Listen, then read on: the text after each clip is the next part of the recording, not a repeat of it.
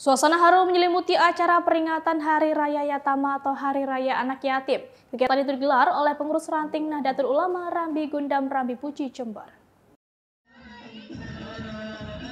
Peringatan Hari Raya Yatama atau Hari Raya Anak Yatim di bulan Muharram oleh pengurus ranting Nahdlatul Ulama Rambi Gundam Rambi Puji Jember ini dipusatkan di Balai Dusun Gayam. Selain diikuti oleh puluhan anak yatim, kegiatan ini juga diikuti tokoh masyarakat dan warga sekitar. Meski berlangsung cukup sederhana, acara peringatan Hari Raya Anak Yatim yang dikemas dalam kegiatan doa bersama dan pemberian santunan berlangsung hikmat dan lancar.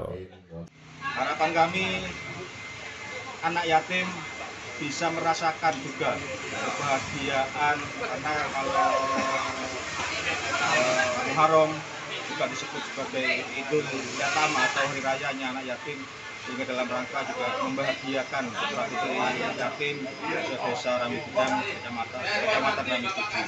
Memang ini kegiatan rutin tahunan ya?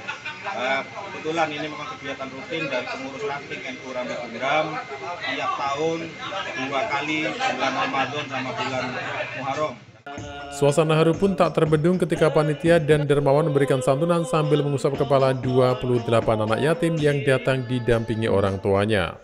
Warga pun menyambut antusias kegiatan sosial dan doa bersama memperingati Hari Raya Yatama atau Hari Anak Yatim dan berharap kegiatan ini digelar secara berkelanjutan.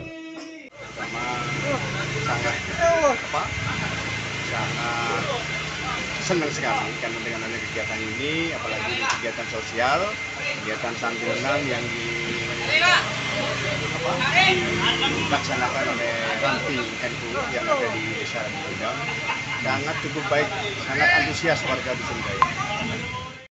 Dari Jember, Jawa Timur, Isam Nugroho, Nasional TV melaporkan.